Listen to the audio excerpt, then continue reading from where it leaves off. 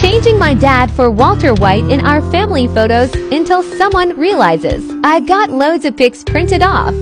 Time to get to work. Take them apart and then snip snip. It's a perfect fit.